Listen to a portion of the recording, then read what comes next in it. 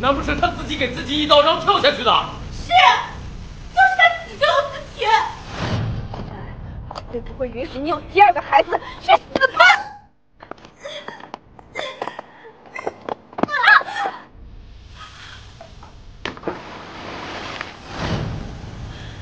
周一楠，你到现在还在狡辩？我告诉你，别仗着自己是莫太太的身份就有恃无恐，跪下！不可能！跟你好好说话，是因为你还是我儿子的亲生母亲，否则我直接废了你。当年要不是你耍手段抢走陈宇莫太太的位置，现在还要亲手害了那你就杀了我！